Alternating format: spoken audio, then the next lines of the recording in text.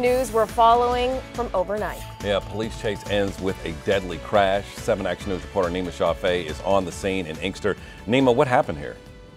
Malcolm and Anu, good morning. This all started in Dearborn Heights when officers from Dearborn Heights came on this car, turned their lights on, and that's when the chase started what we do know right now is that this is where it all ended. We're on Sylvia Street in Inkster.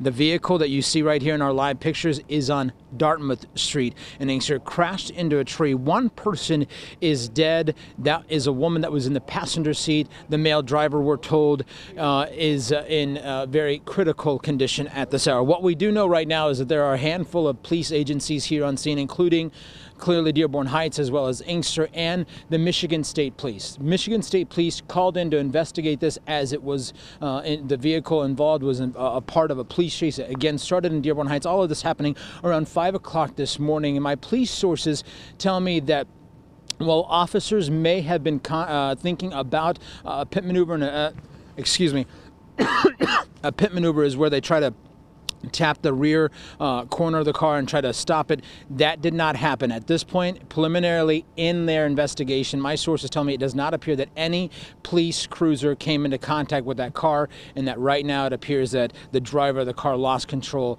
killing his female passenger, and of course, uh, slamming into this tree here on Dartmouth. We are in Inkster this morning. We are uh, in contact with police, not only from Dearborn Heights, but as well uh, the city of Inkster. And as we learn more information about this, we'll keep you posted. We're live this morning. I'm Nima Shafay, 7 Action News.